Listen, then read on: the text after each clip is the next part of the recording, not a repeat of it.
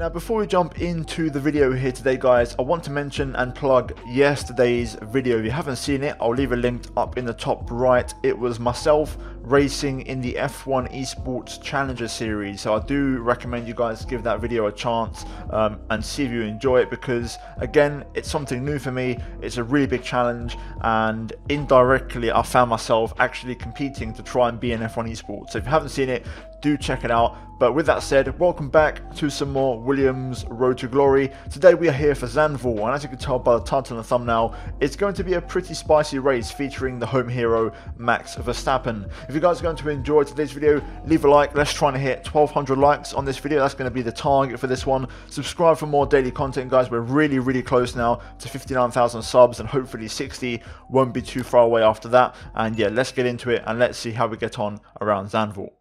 The weather forecast this weekend looks to be dry, which is good, as we then look at the R&D progression chart. And as you can see, we've brought a major aerodynamic upgrade this weekend, and we pull away from our nearest rivals, but still a long way to go, you know, in terms of that battle for the midfield. And teams are bringing a lot of updates, and it's a pretty fierce development race right now in terms of R&D updates and we've got one more planned for the chassis for the weight reduction coming very soon. So that battle will continue but it's definitely getting you know quite hot and spicy. A lot of teams are bringing a lot of upgrades and everyone's pushing on quite a lot. So we need Williams to kind of deliver here and bring you know more facility updates and just try to improve everything around the team so that I can upgrade even more.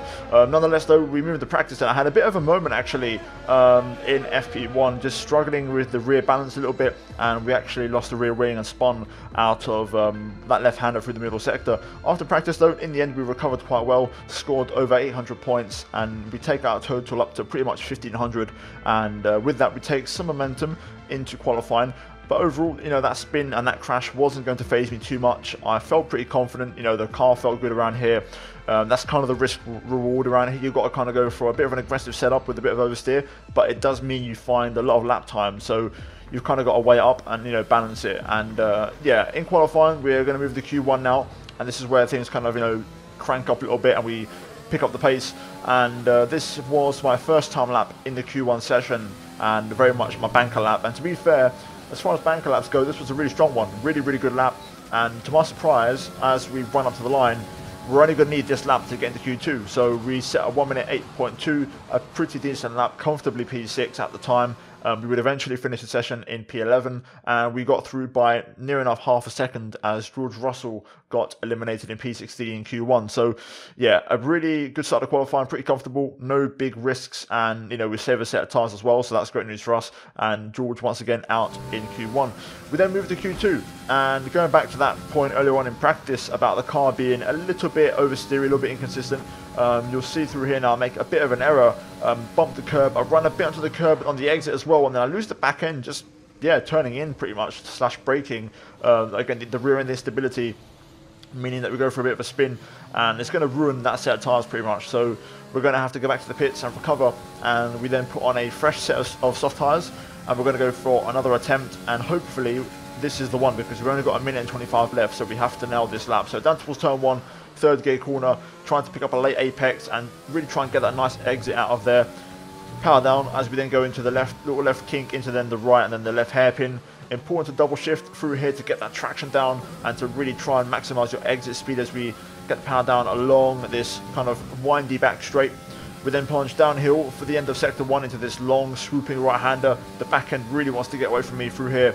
We then bring the car back to the left and then feed it into this quick right. Again this time no issues through here compared to the previous run as we then go into the first of the two hairpins and then the second one of course a much longer left-hander doing a, a, couple of short shifts actually on there using the exit curb to really try and get the power down and open up the corner exit then bring the car to the left as we then go into this little right left which is a chicane slash feeds into a hairpin important again to get that short shifting on the exit to get that traction down and then the penultimate corner uh, this time I'm actually going in fifth gear but I usually take fourth and then keep the car nice and low as we get a bit of oversteer actually through the banking, but luckily no major time lost. And up to the line, we set 1 minute 7.9 and we go P3 and that will see us out of trouble and comfortably into Q3. So a good lap. We finished Q2 in the end in P5, a 1 minute 7.925 from what I can tell. So a good lap actually. Getting to the 107s I knew would have you know, been safe, but we actually made it quite comfortably in fairness. Again, about another half a second to six tenths in our pocket.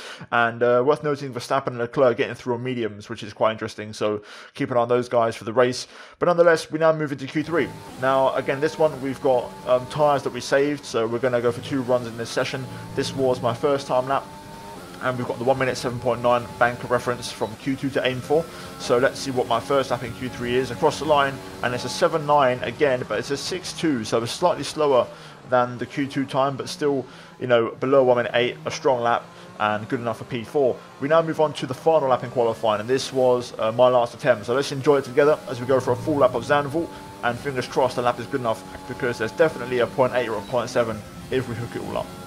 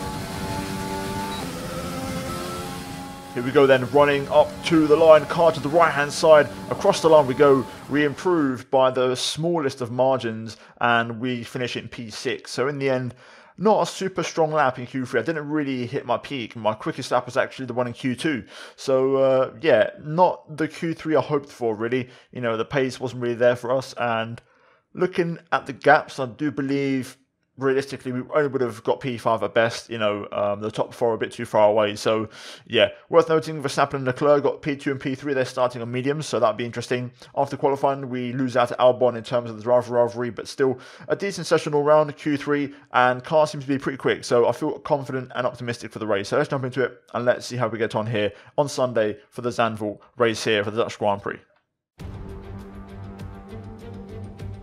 Welcome along then to the North Sea coast and Zandvoort, 25 miles away from Amsterdam, and the host for today's Dutch Grand Prix.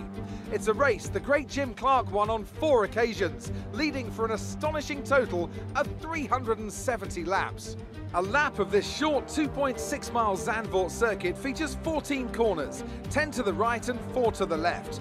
The main straight is 678 metres long and heads into turn 1, the Tarzan corner. With DRS down the main straight into the braking zone, that could be the best overtaking opportunity on the track.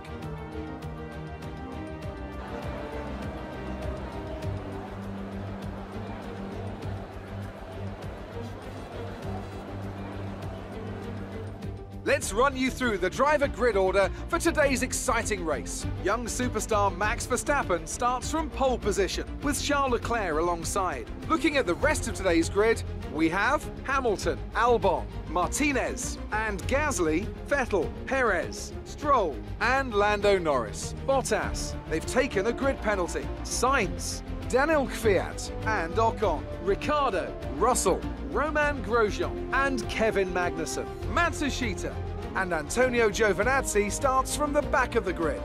It's almost time for those five red lights to go out. Then let's see who can prevail today.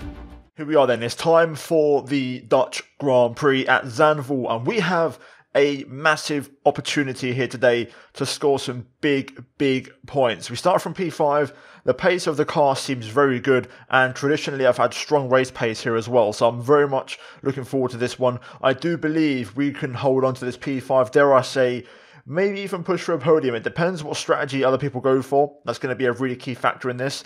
But I do think we have the pace for this. So I'm going to try my best and work really hard to stay with the cars ahead of us. I think we are going to struggle a little bit on the softs early on. I feel like the overheating could be an issue, but once we get into that hard tire, it's going to be the way to go. Now, the game originally wanted me to go for a two-stop strategy. I'm going to go for the one because I feel like in the past I've used a hard tire here and I've done a good job with it. So we're going to try and send it and do a one-stopper. So yeah, fuel-wise, we've overfueled by just 0.5 of a lap. I don't want to be too heavy. I want to be a little bit light and to try and take some stress off the soft tire. So yeah, let's jump into it and let's see how the race goes.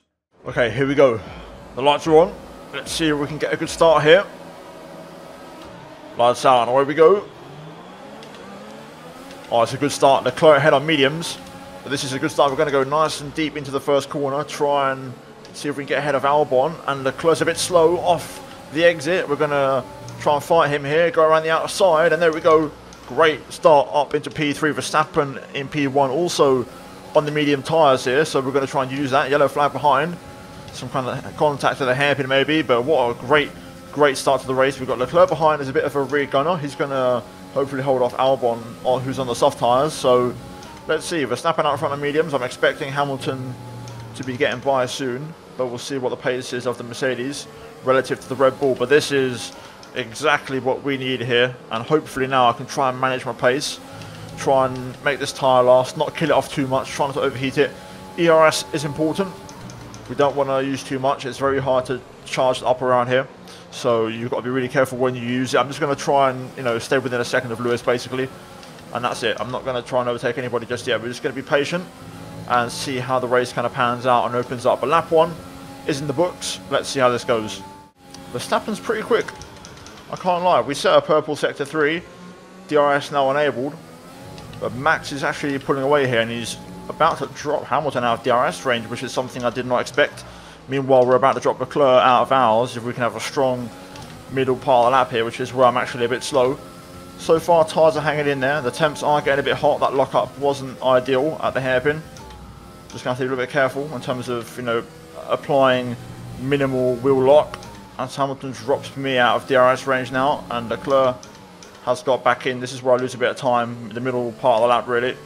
Can't do much about it. Just am slow compared to the AI. A bit of a scruffy one from me there. I've just about managed to keep Leclerc out of the DRS range, but bit of a poor lap all round. I need a better one this time around, to be honest, to try and get back on top here. That initial phase of the race now, where I was pushing on the soft tyres, that's gone now. I'm well and truly in economy mode now for both tyre saving, ERS management, and fuel management. And also, of course, trying to keep Leclerc behind now. He's got the advantage on those mediums. They're going to be the better tyre. Crucially, though, we have dropped Albon, so he's no longer in the mix, but we're going to have to watch out with Leclerc now because he's going to be a lot quicker than me. He's getting closer and closer. Oof, starting to struggle now. Tyres are starting to go. This one stop is going to be tricky to pull off, I will admit. But the minute Leclerc isn't putting me under any major pressure, Verstappen has to set, I believe, a new fastest lap, so he's pushing out front. He's about to drop Hamilton out of DRS range. So those are mediums are starting to find their pace now. Another fastest lap from Verstappen. He's really going for it. Hamilton has been dropped.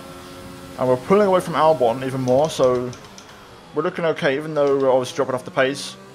We are holding on and we are solidifying our podium status right now. Okay, Hamilton into the pit lane. He actually closed back up to Verstappen there. He was right on the back of him. He's going for the hard tyre. We're staying out for at least one more. It's going to be very, very tight for us to make it in terms of tyre wear. But I'm probably going to put this lap, to be honest. I'm going to call it in a lap early and just get those hard tyres on because the tyre indicator's on, and that means you're usually above 60% on the left front, and I don't really want that, to be honest, so we're going to pit this lap. Understood, stopping this lap. There we go. There we go then. We've managed to hold on and keep Leclerc behind. We're now going to box for a set of the hard compound tyres, and uh, of course complete the one stop. You can see the tyre wear, which isn't ideal. Great pit entry though, that was really, really nice and late. Okay, hard tyres at the ready. We're going to hopefully have a nice quick stop here. Come on, boys. Lovely. 2.3, didn't get held. Fantastic. Hamilton's ahead. He's actually gained a bit more time, but that's okay. Norris starting on the hard tyres by the look of it. But there we go then. So P5 having completed a pit stop. We just need a couple of strong laps here to stay ahead of Leclerc, who should be pitting soon. I'm going to guess he's going to go from the medium to the hard tyre, so Just a couple laps here, just to undercut Leclerc, try and maybe build that gap a little bit, and we're going to be okay. And there we go, Leclerc in the pit lane. So he's going to be on the same strategy as us pretty much. Let's see if we're ahead of him or not. I think we're well ahead actually, quite comfortably, and out of the ERS range as well, which is important. So there we go, and I didn't use any ERS. I've been trying to save my battery, so that's good. Let's focus on getting past Lando now, and uh, try and use him to kind of separate myself even more from Leclerc. Looks like Hamilton has undercut Verstappen for the race lead, so that's going to be a spicy battle up ahead. I wonder if we can pass Lando here. Don't think we're close enough, but I'll give it a crack. The AI don't usually use the ERS in the pit straight, but it looks like Lando is using his right now. This should be a new personal best. There you go, with the purple sector free. And we're dropping Leclerc in the process. Let's try and line up Lando then for the overtake. This shouldn't be too difficult. I wonder if I can be a little bit cheeky here and uh, try something a little bit different. Nah, not going to happen. I was thinking about the car back there, but we don't quite have the car for that yet. Okay, this should do the trick then. This time we're more than close enough. Looks like keep it nice and tidy through there. Hit the ERS a little bit through the final corner. And we're going to hit it again on the pit straight down towards turn one. Oh wow, that McLaren's got some speed about it. Jesus. Down the inside though. What a dive that was. Whew. Big old send. That McLaren is pretty speedy on the straight, I've got to say. You can notice the Mercedes engine in the back of that thing. Either way, we're through now, back up to P3, and currently on for our first podium of the season here. As you guys know, this race isn't often the most entertaining. It's just the way, that the nature of the track, and if it's bad in the game, you can imagine it's going to be pretty boring in real life. But nonetheless, we're only five seconds off the race lead. If Verstappen and Hamilton battle, you never know. We could get back in the mix there, but I don't think I've got the pace for that. So P3 could quite likely be our final destination here today. Some information on Leclerc. They're slowing down. It seems like there's some kind of problem with their car. Well, that's going to take all the pressure off now. Lando yet to pit. Leclerc with issues. That's going to make it very easy for us now to secure this podium, so we can just relax now and just bring the car home, to be honest. I don't have the pace to catch the front two. I'm pretty much matching them on certain laps, but when they turn the engines up, I'm a bit too slow. So yeah, we're going to be just bringing this one home in third place, I think. I just drained my entire battery in that lap to set a personal best. I don't think it's going to be a fastest lap though, or is it? Oh, okay, it is. Nice. Gave it a little go, and we've done enough. No ERS left now, they're just fuel, so Norris is still out there, Leclerc dropping off big time. I'm waiting to see where the next car is because I feel like looking at the minimap, I've got a quite big gap. I can actually afford to pit. You know, Leclerc with his car issues, Norris having to pit. I could probably strap on another set of soft tyres and just go for it basically. We'll see. I'm also very aware there will probably be an, a late safety car because nothing's happened this race. And we seem to get a safety car every single race at the moment, so I'm waiting for it. Hence why I've used all my ERS because I know there's probably going to be one and I'm going to get a chance to recharge my energy anyway. So there we go, Lando finally pits. This will give us a bit more for an indication and a bit more of a clearer picture in terms of what we can and can't do this race. He's going for the soft tyres, so he's going aggressive in this race. Perez 15 seconds behind. That's probably pretty close actually to a pit stop. And there we go, yellow flag. I've guessed it, and it's Hamilton, I believe. It's Hamilton. Oh my goodness me. I mean, I think we know what's going to happen here. I'm going to wait to see if it's true. I was thinking about pitting there. But you know the one time I'm so confident about our safety car, we don't actually get one? Let's wait and see what happens. Gonna wait for the confirmation on the retirement, but you just saw Hamilton there up in smoke, so we're now at P2 in this race, which is incredible. And by far strongest finish of the season. Let's see if we do get that safety car. I'm waiting for it. Gonna push the ERS and fuel here while I can. Before it arrives, if it does arrive. There's confirmation. And there we go, safety car deployed. Easy to guess. Right, we're going to pit this lap. I'm going to pit and take the free pit stop. I'm just making sure I run the delta to the finest possible margin here. We're going to pit. Here we go. I'm Going to slow down for the delta. Into the pit lane we go. And we're going to box for the hard tyre. Right. Let's see how this goes then. Or for the soft tyre, should I say. So it's going to be a used soft, but that's okay. Away we go, 2.4. And I think we should be in P2 still. Yep, there we go. Lovely. Totally worth it. Free pit stop. And now when the race restarts, we're going to have a huge advantage on tyres compared to everybody else, and especially Verstappen. So we could actually maybe win this race. Okay, safety car in this lap. I'm trying to get some last minute temperature on my tyres. It's going to be tricky, but we'll try and do our best. See if I can get a bit of rear tyre temp. There we go, I should do that. That's enough. That's all we need. I don't need a load of temperature, just enough. But we could challenge Verstappen here straight away. If we time this right, this could be the one. Timing on this throttle has to be perfect. There we go, straight away. On for the restart. We're going to challenge Verstappen into turn one. Down the inside. Verstappen giving us a squeeze and a half into the wall there.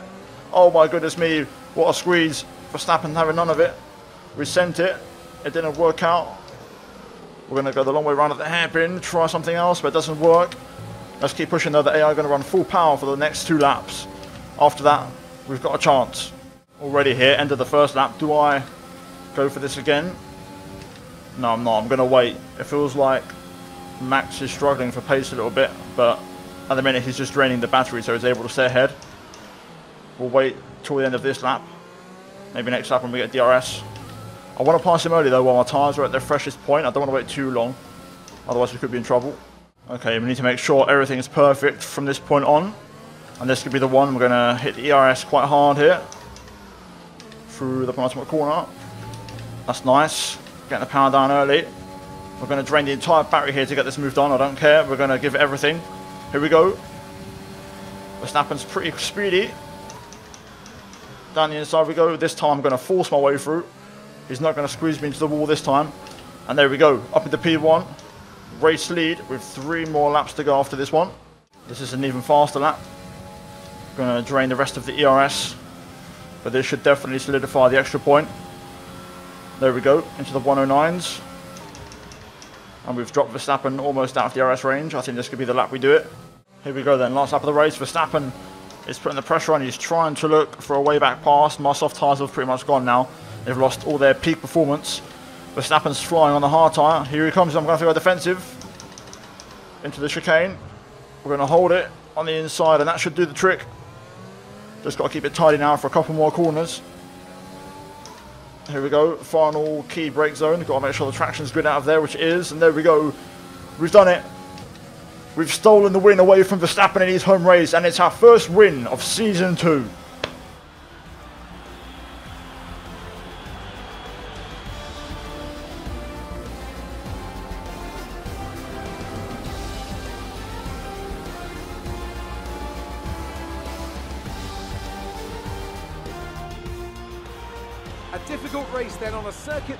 Demands complete concentration, but they've persevered to take the win here today.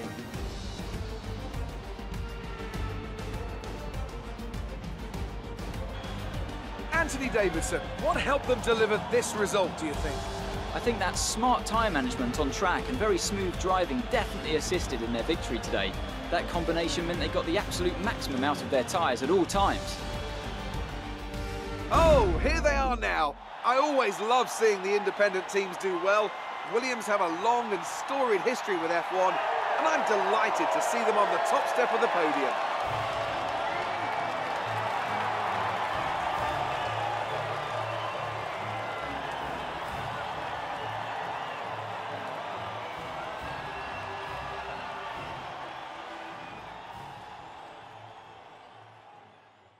Well, there we go then, guys. That is it for the race here today, and we pick up the win and the fastest lap, which is insane. So 26 points. We finish ahead of Verstappen and Leclerc, who join us on the podium, and crucially, we steal the win away from Max in his home Grand Prix. Perez P4 for the Racing Point Aston Martin team ahead of Albon, of course, our rival. Gasly, Stroll, Bottas, Norris, and Kvyat round out the top 10. Missing out the points, we have Vettel, Ocon, Ricciardo, Sainz, Russell, Grosjean, Matsushita, Magnussen, Giovinazzi and Hamilton, the only retirement from the race and the big one here today. We look at the driver standings and after that race we jump up to third place with that race win and we get right back in the mix. Verstappen 25 points clear at the top, he's controlling the championship this year as we then look at the constructor standings. We move up to fifth place, equal on points with AlphaTauri, only four behind McLaren, so we're back in the mix there as well, and uh, we're on the hunt for that third place in both the drivers and constructor standings. But guys, that is it for the race here at Zandvoort. We're now going to move into the menu and put more upgrades heading into the next few races at Spain and Monaco. So let's jump into it and let's see what we can do. It doesn't get much better than a win at this track, does it? Well, it's it's a it's a win. You know, a win's a win. It doesn't matter where it is. I think we love a win, and it's been a while, but we've got our first one this year, and yeah, I, I really really enjoyed it. I think to do it at this track in front of you know Max's fans, that was definitely uh, an interesting one for sure. You performed better than last weekend. What changed?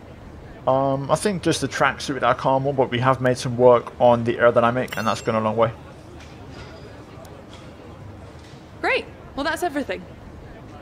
Then there you go then, after the race, as you can see, we outscore Alex Albon by three points, and we actually, we're going to get a few points back in the rivalry after this weekend, you know, after out-qualifying him and out-racing him. It's been a good weekend for us, and we also gain a fair chunk of acclaim. But anyway, let's get into those upgrades.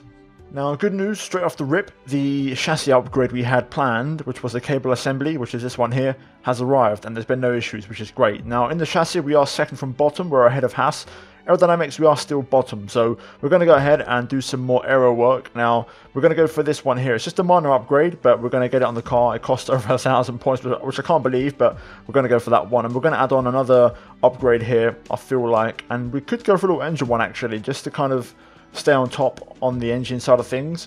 I am tempted to go for maybe a little ERS upgrade just to improve the efficiency. So we're going to go ahead and uh, get that on the car as well. So that way we stay on top on the engine department and we're not slacking. So yeah, a few more performance upgrades on the way. You can see those two are now planned, and that's going to help close the gap to uh, Renault up ahead, really, of course, Renault, Renault Alpine. And uh, with that, we can now move to the next race in Spain.